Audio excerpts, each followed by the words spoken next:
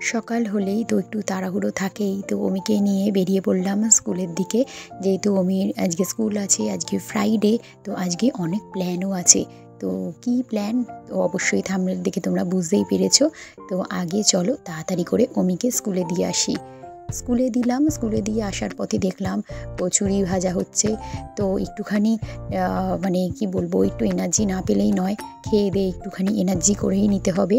কারণ আসল কাজ আছে বেশ মানে কি বলব, অনেক টাফ কাজ। তো বাড়ি গিয়ে তো সেগুলো করতেই হবে, আর ফেলে রাখা যাবে না, কারণ আর মাত্র কয়েকদিন বাকি পুজো। আর এখানে দেখো ওই কচুরির দোকানে অনেক রকমের মিষ্টিও পাওয়া যাচ্ছিল। দেখে বেশ ভালোই লাগছিল। আর এখানে কচুরি খেলাম, তার সঙ্গে কিন্তু জিলিপিটাও খেয়েছি, ওটা আমি ভিডিওতে তুলতেই ভুলে গেছি। কি আর করব? কচুরিটা কিন্তু দারুণ ছিল। এইবারে দেখো, ঘরে এসে যেটা টাফ কাজ, ঘরের ঝুল ঝাড়া ঘর পরিষ্কার, পুরো একদিনে আমাকে পুরো করতেই হবে। কারণ হাতে আর টাইম নেই। আর অমির যেদিনকে ছুটি থাকে সেদিনকে হয়ও না। তো কি বলব, আমি তো পুরো স্টার্ট করে দিয়েছি। আর এই বক্সগুলো দেখো, আমি কিনেছিলাম মেশো অ্যাপ থেকে প্রায় দু বছর আগে। খুব ভালো, টেকসই। তো আমি তো এখানে অমির সমস্ত জিনিসপত্র, বই খাতা থেকে শুরু করে ওষুধপত্র সমস্ত কিছুই রাখি। আর দেখো কি ধুলোটাই না পড়েছে। মানে খুব নোংরা হয়েছে। পুরো জল ন্যাকড়া দিয়ে ভালো করে পুরো ডিপ ক্লিন যাকে বলে সেরম করে নেওয়ার চেষ্টা করছি। আর ব্লগটা কিন্তু আমি সেরম বিশেষ একটা বড়ও করতে পারছি না, বুঝতেই পারছ? কারণ ঘর দৌড় পরিষ্কার করতে আমার দুটো ঘণ্টা টাইম কেটে গেছে। মানে এত নোংরা হয়েছিল। আর আলমারির মাথা তোর কোনো কথাই নেই। দেখো কি নোংরা। আর এই বোর্ডটা হচ্ছে আমাদের রিসেপশনে আমাদের নেম প্লেট যেটা ছিল সেইটা। তো পুরো ধুলো পড়ে একাকার। তো তা এটা আমি রেখেই দিয়েছি। আবার ঝেড়ে ঝুড়ে আবার রেখে দিয়েছি। আর এখানে দেখো আলমারির মাথার অবস্থা, কি নোংরাই হয়েছে। তো সব আমি পুরো পরিষ্কার করছি, পুরো ডিপ ক্লিন যাকে বলে সেইভাবেই করার চেষ্টা করেছি যতটা পেরেছি। তো সেই জন্য ব্লগটা সেরমভাবে বড় করতে পারিনি। শর্টটি ব্লগ করেছি, তোমাদের সঙ্গে একটু শেয়ার করতেই হবে।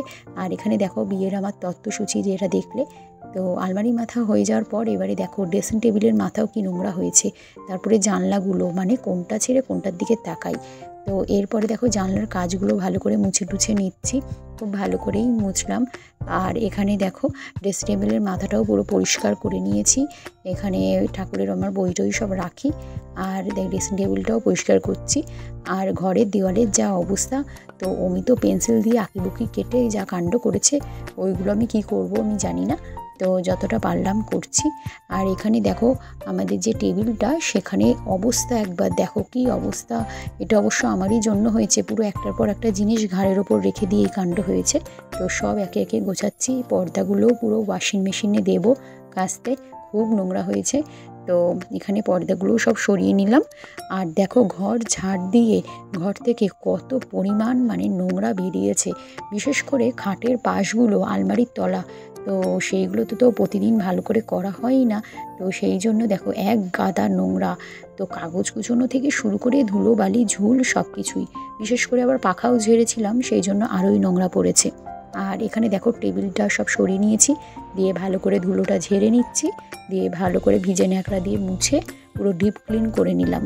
তো এইটা তো পুরো একদম সবসময় ইউজ হয়। তো এর উপরে যা পাই সবই আমরা রাখি। তো এই কি বলব আর? তো ঘর ঘরদোর পরিষ্কার করার পর খুব টায়ার্ড হয়ে গেছিলাম, আর কোনো ভ্লগ করতে পারিনি। আবার সন্ধেবেলায় ভ্লগ করছি। সন্ধেবেলায় দেখো, বেরিয়ে পড়েছি ঠাকুরের কাপড় কেনার জন্য এন্টালি মার্কেটে তো আমাদের এন্টালি মার্কেটে শ্রী দুর্গা রয়েছে, সেখান থেকেই আমার শাশুড়ি বলল যে ওখান থেকেই নিয়ে আসতে, ওখান থেকেই বরাবর আনা হয় ঠাকুরের কাপড়।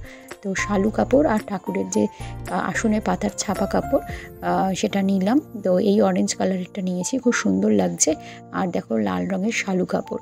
তো এইগুলোতে নেওয়ার ছিল ঠাকুরের জিনিসপত্রগুলো, সব ব্যাগেতে নিয়ে নিলাম। আর বালিশের ওয়ার নিয়েছিলাম। বালিশের ওয়ার একশো টাকা করে, পাশ বালিশের ওয়ার, দুটো নিয়ে নিলাম।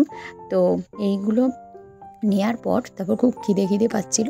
তো তারপর ভাবলাম একটু কিছু কেনা যাক। তো চাউমিন নিলাম আর বাড়ির জন্যও নিয়ে গেছিলাম চাউমিন আর হাজব্যান্ডের জন্য মোগলাই পরোটা। তো চলো আজকের মিনি ব্লগ এখানেই শেষ করলাম। সবাই খুব ভালো থেকো। Good bye